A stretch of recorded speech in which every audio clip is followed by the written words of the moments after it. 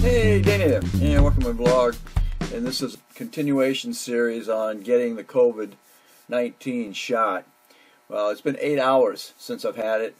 Um, my neck, my neck hurts, and I have kind of a, um, kind of a very dull headache at the moment. Um, my arm, where I got it, definitely, you know, no, no different than a flu shot. Um, so um, I'll keep you up to date as to how this is going. Um, mm, kind of right down the back of my neck. Um, kind of hurts, but you know you you're talking um, arm arm no different than uh, if you got a flu flu shot, tetanus shot. You know, tetanus shots hurt. Um, so uh, other than that, uh, I'm not having really any any reactions to it. Um, I'm not really allergic to any anything as it is. So anyway, this is eight hours after having the Moderna COVID vaccine. Hey, Danny here, and welcome to my vlog.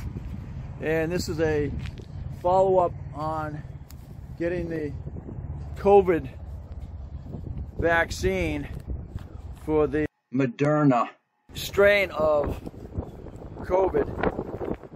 The uh, this is now 24 hours, right up to it.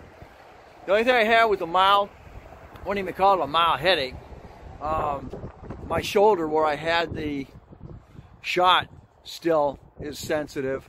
Um, I had a slight pain in the back of my neck. So that's all I've had over the past 24 hours. No diarrhea, no coughing, no more than normal.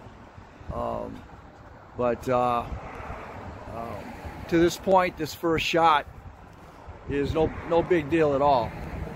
Uh, they're saying the second one, the second one, you're really going to know that you had the shot. We'll we'll see how that transpires. So thanks for watching. Don't forget to comment, subscribe, definitely share. I'll keep you updated.